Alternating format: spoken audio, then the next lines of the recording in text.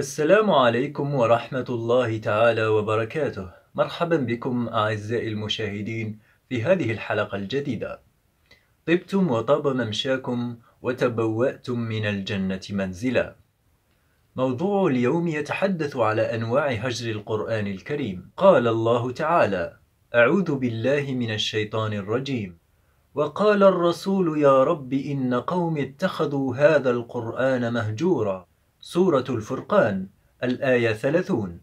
ذكر ابن القيم رحمه الله تعالى أنواع الهجر فما أنواع الهجر؟ واحد هجر سماع القرآن والإيمان به والإصغاء إليه.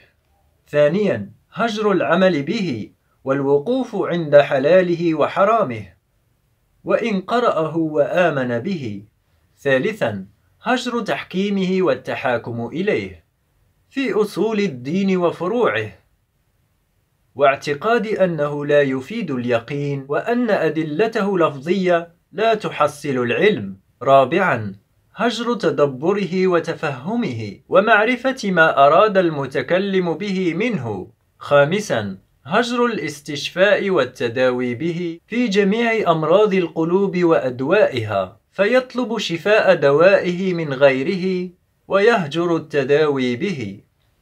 إلى هنا نصل إخوتي الأعزاء إلى نهاية هذه الحلقة. أتمنى أن تكونوا قد استفدتم. ألقاكم في حلقة جديدة.